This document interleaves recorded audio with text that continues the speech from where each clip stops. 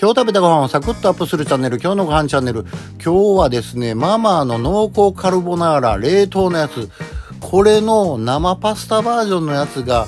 えー、なんかね、30何個食べ比べて、えー、一番トップだったっていう YouTube があったので、えーえー、探しに行って買いに行ってきたんですが生パスタのやつがなかったので普通のスパゲティのやつを買ったんですよね。ソースは同じはずなのでパスタが違うはずなのだ違うだけのはずなのでえっとえ、食べてみました。よく混ぜ混ぜして、えー、レンジは5分10秒やったかな、えー、なのでちょっと5分20秒ぐらい温めて食べたんですが、えー期待もりもりでいただきましたがおおこういう感じなのかっていう。でこれ黒胡椒を入れると、えー、さらに美味しくなるということだったんですが、まあ、黒胡椒を入れると美味しくなりましたがあのなんかねパスタが思ったよりもすごい、えー、柔らかくなくてすごいアルデンテやぞっておっしゃってたんですけれどもいやいやいやいやそういうやっぱり冷凍のパスタやなというイメージはちょっと否めなかったんですよね。あのこんだけうまかったらもう自分でパスタ作るやつい。なくなるぞみたいな話だったんですけどいやいやいやいやそれはやっぱり茹でたパスタの方がうまいぞというのがちょっと正直な感想でございました。ただこれ240円ちょっとぐらいやったんですがこれでこのあのものが、えー、食べられるっていうのはまあまああの良いのかなとは思ったんですがちょっとねあと塩僕にとっては塩辛かったんですよね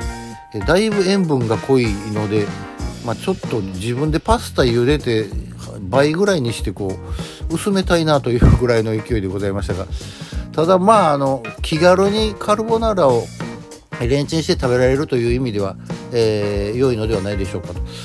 ただそのやっぱ生パスタというあのフィットチーネだったんですけどそっちの方はすっごい美味しいのかもしれないですね。えー、かもしくは僕がちょっと期待しすぎたのかなと、えー、思ったんですけれども。えー、まあ、なので、まあ、置いておいて、まあ、僕が次買おうとしたら、えー、置いといて茹でたパスタと混ぜて、えー、まあ、ちょっとなんかなんか足して、えね、あの食べるような気はいたしますが、まあ、ちょっと期待しすぎたんでしょうね。すいません。なんかこんなレビューになってしまいました。ただママの、えーと冷凍スパゲティはすごいクオリティが高いみたいなのでえー、ママの生スパゲティの方か生パスタの方か、えー、今度いっぺんほんまに生パスタの方買ってみたいと思います。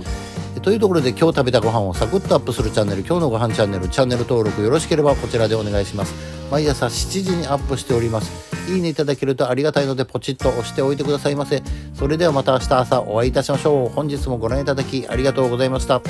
ちょっと辛口レビューになってしまいましたね。すいません。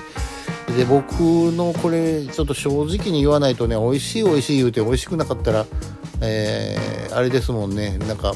申し訳ないというのもあって。非常に正直に言うようにしてるんですけれどもただねそんなにあの、